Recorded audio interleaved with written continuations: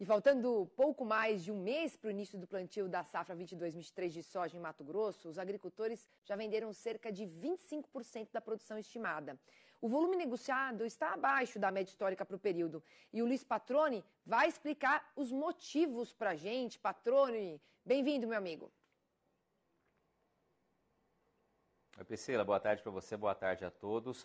Pois é, Priscila, esses números foram né, atualizados e divulgados pelo IMEA, Instituto Mato Grossense de Economia Agropecuária, que é, faz esse acompanhamento né, mensal, essa divulgação, retratando como está o comportamento no que diz respeito à comercialização da safra, né? tanto a safra que já foi colhida, quanto também a safra futura, que é o nosso foco aqui nessa participação. Como você disse, 25% para trazer o número exato é 25,5% da produção prevista foram comercializados até agora. A média histórica para esse período é de quase 30%, 29,9%. E no ano passado, 37,3% da produção estimada já estavam negociados, o que confirma, como você disse, um ritmo mais lento do que a média histórica e do que, claro, também no ano passado. E por que esse motivo? Né? Quais são os motivos principais pontuados pelo IMEA para essa lentidão na venda antecipada?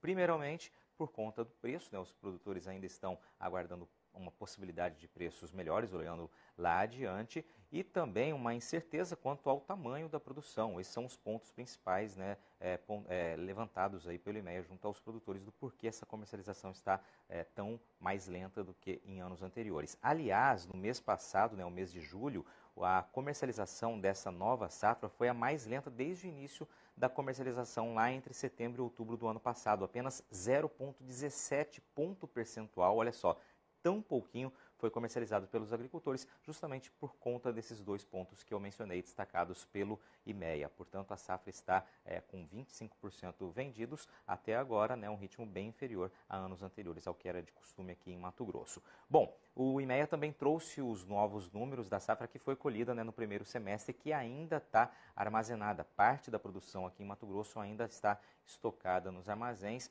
Aliás, é, atrapalhando, vamos colocar assim, né, a chegar à entrada do milho que foi colhido. Por isso a gente já mostrou recentemente aqui né, imagens de milho a céu aberto, justamente porque há soja ainda da primeira safra colhida é, é, ocupando espaço dos armazéns. Aqui, nessa atualização do IMEA, o avanço em julho também foi pequeno da comercialização, apenas 1,7%, chegando ao total de 83,9% da produção colhida já vendida pelos agricultores aqui em Mato Grosso. A média para esse período é de 91% e a média, e a, e a média que estava nesse mesmo período no ano anterior, né, na safra, no ciclo anterior, 2019 e 2020, foi, ou melhor, 2020 e 2021 era em 92%, ou seja, a comercialização da safra colhida, assim como a safra futura, estão em ritmos menores do que o de costume aqui em Mato Grosso. Registro feito, trazendo os números de atualizados pelo IMEA. Priscila, é contigo. Obrigada, patrônio. Uma boa tarde para você.